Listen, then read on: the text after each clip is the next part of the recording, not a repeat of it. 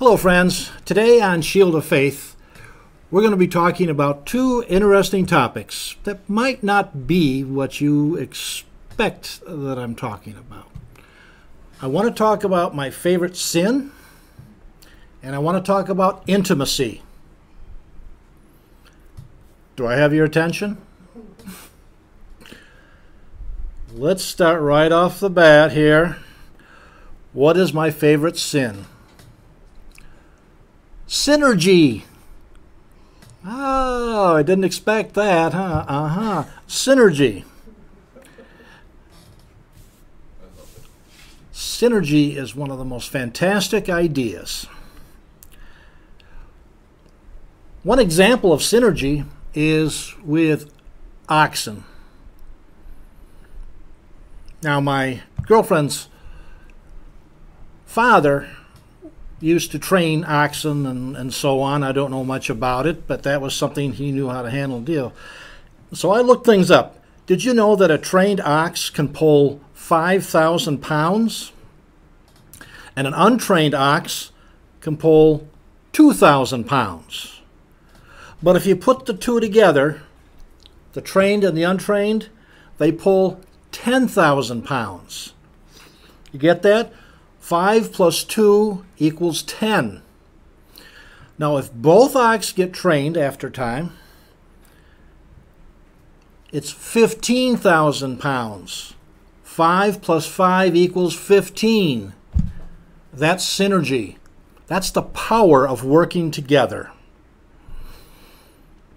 Now, there's a term that I grew up hearing about, which might mean different things to people, but the idea is the, of the church universal.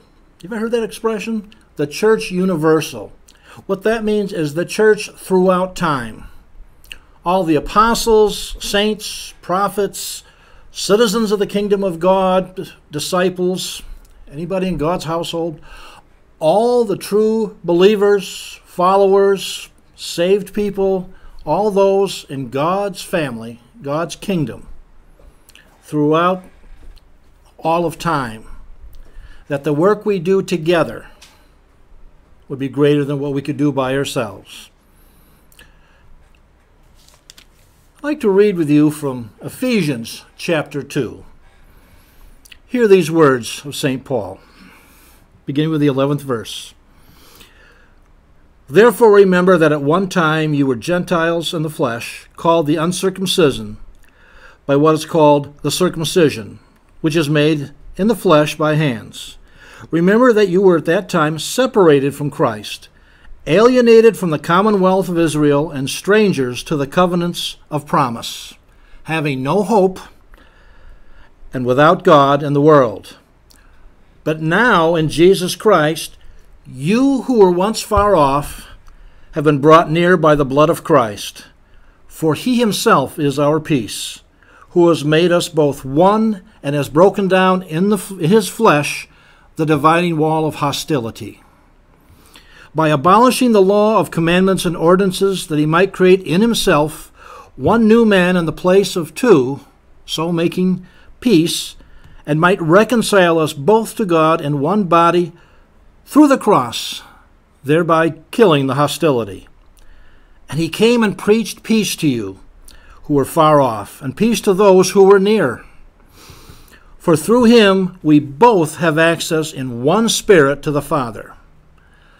So then you are no longer strangers and aliens, but you are fellow citizens with the saints and members of the household of God, built on the foundation of the apostles and prophets, Christ Jesus himself being the cornerstone, in whom the whole structure, being joined together, grows into a holy temple in the Lord. In him you also are being built together into a dwelling place for God by the Spirit.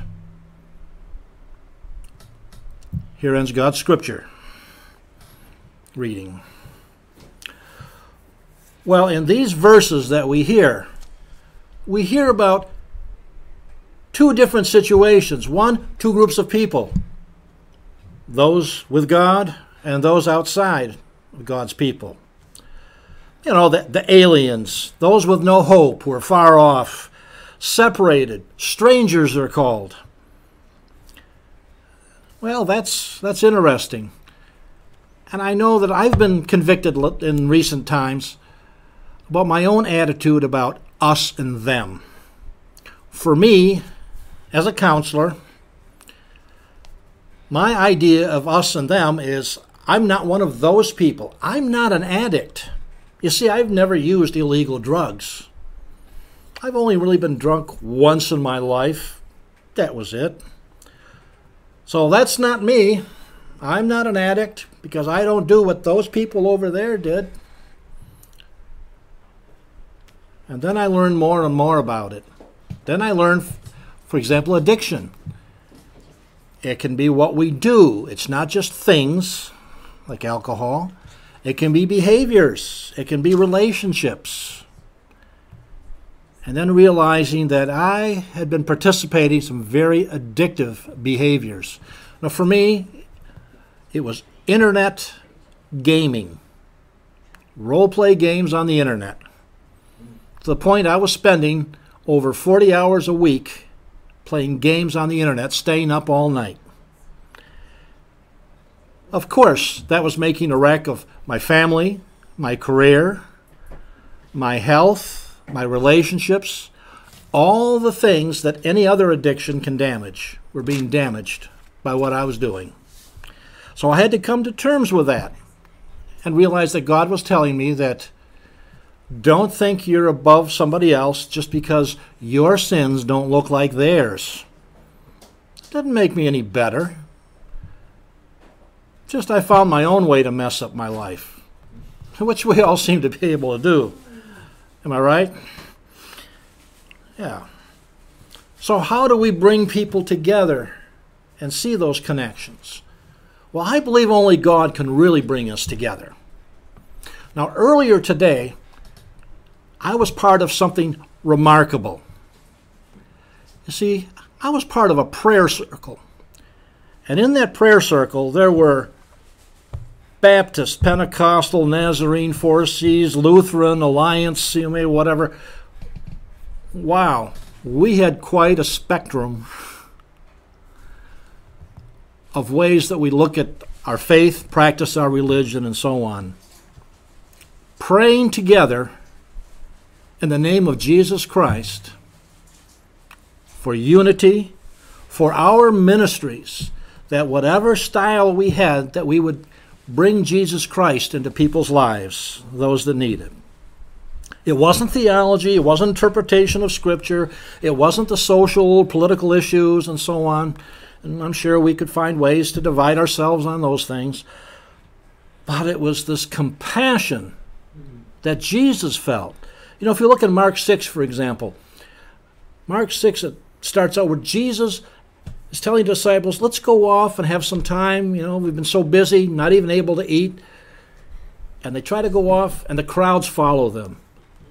And then they take off another time. Right after that, Jesus spends time teaching and doing with them, and, and even the feeding of the thousands. And they go to another place, trying to get some time for themselves. And again, the people follow, and Jesus has compassion on them, reaching out to them. The power of being together.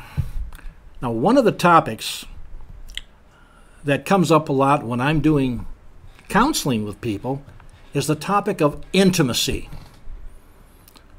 Uh, the way I understand intimacy in a counseling perspective is into me, you see intimacy. Intimacy, it's not just the physical relationship. Intimacy has to do any ways that we come together. Well, there could be a lot of things. We could enjoy the same food or the same music or the same art. We could do a task together. We could talk about our professions. I can get together with other other preachers and talk about the craft of preaching or whatever it might be. So, intimacy is when we have that friendship and connection where we enjoy each other's company, we have things to share with each other. That's the power, for example, of support groups. How, why do support groups work? Because you can see into each other. And working together, you're more powerful than working separately. lives change. Just finding out how we are the same changes lives. Aristotle is credited with saying, the whole is greater than the sum of the parts. Well, that's true. So, what can unite us all, bring us together? The compassion, the love of Jesus Christ, our love of God, our love of Jesus, and loving our neighbor. That's it. As long as we pray together, talk together, in Jesus' name, we know we are loved. Amen.